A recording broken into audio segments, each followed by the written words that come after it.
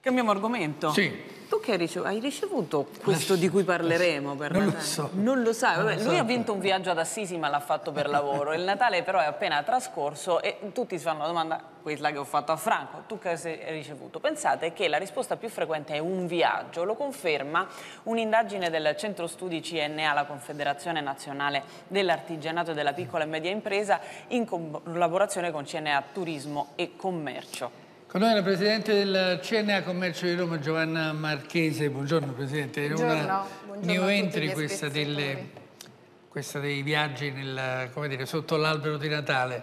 Un Quali sono pacchetto- quelli che si regalano di più? Un pacchetto nuovo no, da Sì. trovare sotto l'albero.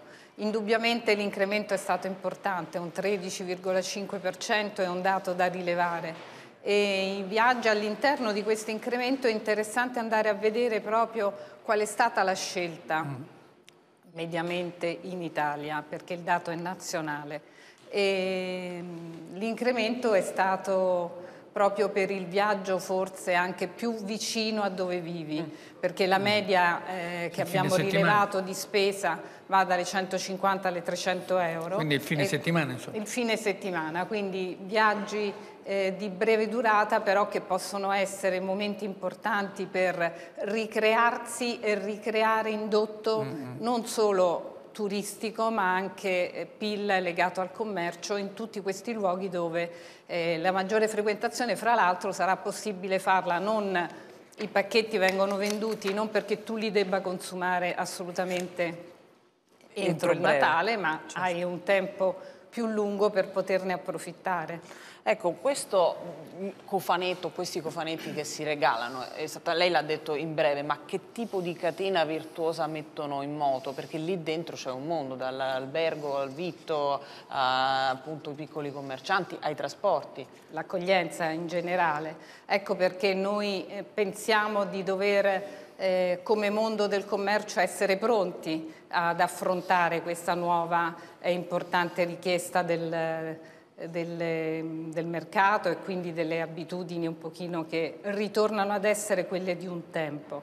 Eh, è importante capire che tutta una serie di servizi collegati a questa accoglienza. Noi non possiamo pensare di poter svolgere il ruolo turistico che abbiamo come città eterna nel mondo e non solo nel mondo, soprattutto in Italia, se non abbiamo poi l'accoglienza giusta perché questi turisti una volta eh, venuti da noi possano sentirsi veramente all'interno di un sistema che eh, non solo non crea delle difficoltà, ma anzi li aiuta a conoscere la città, a poter approfittare di tutte le opportunità che la città offre. Com'è stato questo 2018?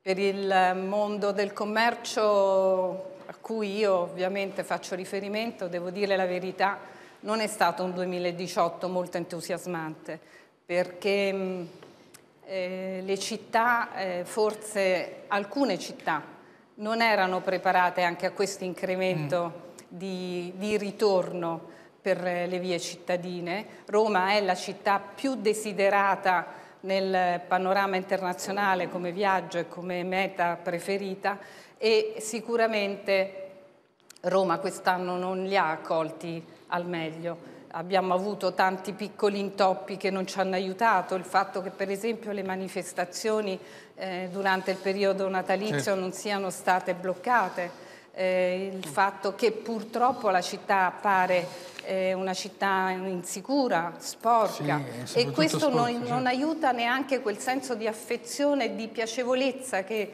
il cliente, l'utente della strada deve avere nei confronti poi del commercio cittadino. Indubbiamente. Grazie Giovanna Marchese, Presidente del CNA.